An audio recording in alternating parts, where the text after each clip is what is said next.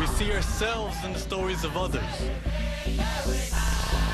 and free ourselves writing our own. Love it. It's only 30 seconds long, but packs a super powerful and patriotic punch.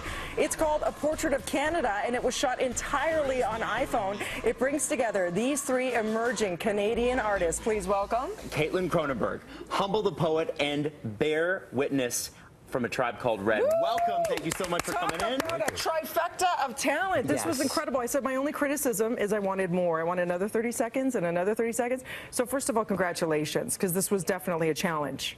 It was a challenge. Being shot on iPhone and being only 30 seconds long. Well, I'll tell you that we did shoot enough for it to be like three hours long. because when you're dealing with this country, it's huge. There's so much to cover, and we covered it. And then the decisions, to, I mean, we had to cut it down, obviously, because it's a 30 second spot, but we saw everything and we shot everything, and I got to experience all of that. So I feel like I know you know the, the expansiveness of the country and everything that was in it um, and we did really i think they did a great job of cutting it down I remember when I was in, in school, uh, I took a poli sci course at Ryerson, and one of the things that Canadians talked about in, in, in the studies that they had done at the time, this was about 10 years ago, was that we didn't really understand what our own national identity was. What did you learn about Canada's national identity for the three of you uh, in this situation, kind of going in and then coming out? Did it change at all for you? i mean not necessarily for me i think that the whole idea of canada is that it is an inclusive nation these days especially we're really working hard to have a, a welcoming attitude and have everybody sort of represented um, which i feel is you know important especially in the current climate of the world.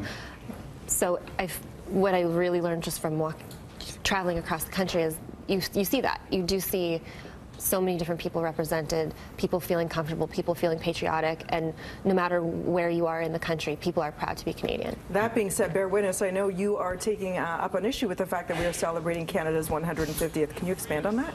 Yeah, I mean, as an Indigenous person, that's a really difficult thing to celebrate. Um, you know, when I see all this Canada 150 stuff everywhere I turn, it's really difficult for me. It's almost uh, a, a traumatic experience because what I see is 150 years of forced assimilation, 150 years of attempted genocide. You know, I saw a quote from a friend of mine earlier today before I came in that said, Indigenous people are the only people who should, should really be celebrating 150 years, and it's 150 years of survival. What do you think about the fact that you have people like Gord Downie coming forward, you know, from the tragically hip, and you have Prime Minister Trudeau also doing that, saying we want to right our wrongs so that we don't make the same mistakes. Do you And- think it's it's it's going in the right direction? Yeah, no, I mean, I. I'm I'm watching things really change in this country, you know, and like especially with this video, um, we talk a lot about representation and being, you know, being part of the general conversation. Mm-hmm. But in this video, that got to go a bit a step further, where we were part of the conversation of the content of the video and making it comfortable for us to be involved in something that was celebrating Canada. Yeah, and speaking of humble, you put beautiful words to this. Was it challenging to, to, to, to make such an impact in 30 seconds, and how did you come about choosing those words? Um, it was definitely a challenge trying to find a way to celebrate what Canada is today and where Canada is headed, uh, acknowledging everything that's happening, acknowledging the uh, the differences of thoughts when it comes to uh, Canada 150, uh, acknowledging the differences that we have with our neighbors to the south, and uh, yeah, writing a lot of words, putting them together, a lot of trial and error, a lot of different cuts, and also at the same time, just simply giving room for a tribe called Red to breathe with their music and uh, having the photos and videos breathe with, with nobody speaking over it. So I think it came out beautifully. It absolutely did. It absolutely, and, and I'm going to echo what Dina said. I wish it was longer. That's Yeah. all. But if you've got enough to do three hours, would you consider doing a longer version of it?